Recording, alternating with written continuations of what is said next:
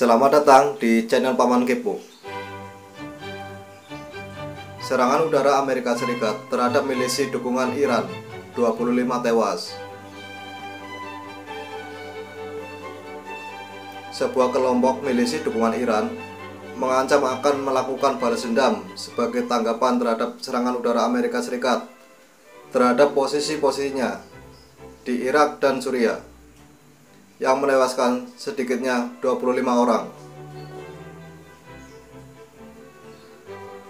Peringatan dari Kataib Hezbollah muncul sementara Menteri Luar Negeri Iran mengecam serangan Amerika itu.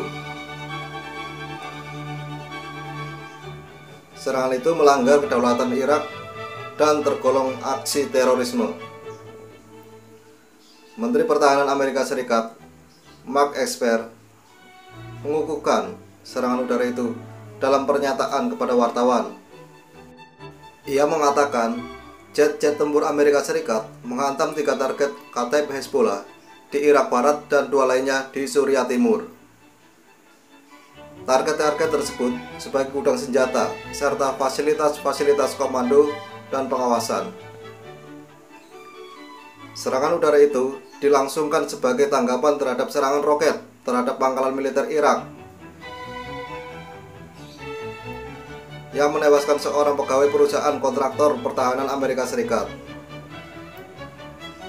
Katib Hezbollah adalah bagian dari pasukan mobilisasi Irak gabungan kelompok-kelompok milisi terlarang di Irak.